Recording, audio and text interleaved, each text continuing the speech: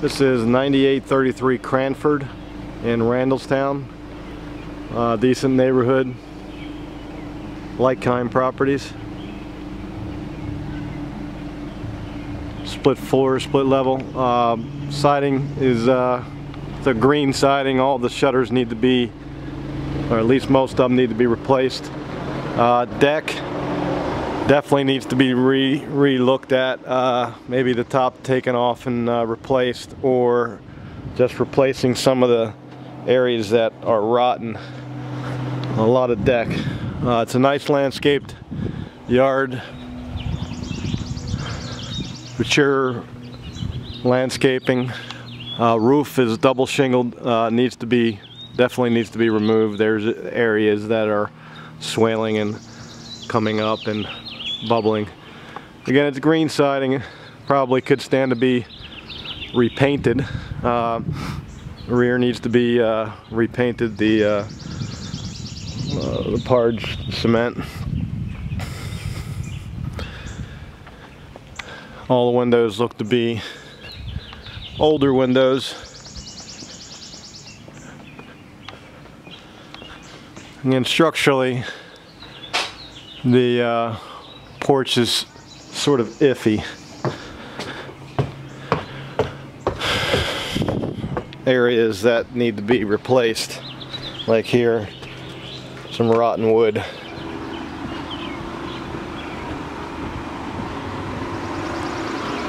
Uh, we walk into the kitchen. It's uh, laminate wood flooring needs to be replaced and the windows definitely need to be replaced. They're old uh, aluminum windows. Got the kitchen, open up a wall, uh, split level, open. Uh, wood floors definitely need to be restained, refinished. Um, again, open up, open up one of these walls to uh, allow for the kitchen, maybe even open up all of it. Have a, uh, an island to put a bulkhead in there to support Nice uh, 1970s wallpaper. Uh, hasn't been lived in in quite a while or removed. Uh, look at this. Pretty bright, eh? Would have been in style a few years ago. Uh, gutted. All doors need to be removed, replaced. I would remove trim, replace all the trim. Uh, doors need to be replaced. Uh, this there are three bedrooms upstairs two baths, two full, one master. Again, all the bathrooms need to be removed and replaced. this will be a fifty to sixty thousand dollar flip. Again, open stairs. Uh, definitely um, reuse the um, steel stairs. Um, open to the downstairs. There's some mold issues. Looks like there are uh, some moisture problems been down. Uh, this is a uh, either a bedroom or um, in-law. Uh, this is a laundry room. All tile needs to be pulled up. I would put tile back down in here. One by inexpensive. Nice open uh, floor plan in the basement. Stucco ceilings. I would uh, pull them down or laminate with new drywall.